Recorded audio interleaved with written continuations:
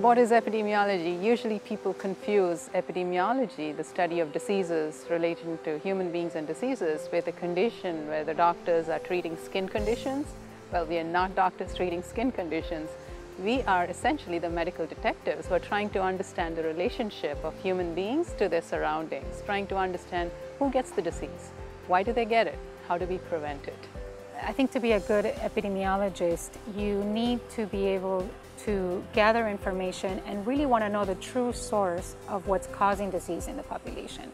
So really understanding the factors that are leading to the disease to be able to prevent the disease. A big piece of epidemiology is preventing disease in populations and that is really what's going to increase the quality of life of people and that's what we try to do.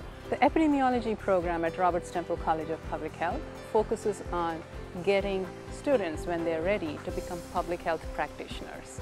So by the time the student leaves our department, they already have enough experience and exposure that when they go and start their first jobs, they are not starting on a blank piece of paper. They already are coming in with the skills and abilities to actually take projects forward. The most eye-opening thing I've learned is that there are many opportunities out there, fellowships, internships, just things to get hands-on experience if you ask the professors about their previous experience, they'll tell you and they'll try to help you in any way they can. In my experience, the FIU program stands out because it really focuses on practical skills that are going to be needed by the students as an epidemiologist in the field. It really focuses on experience learning.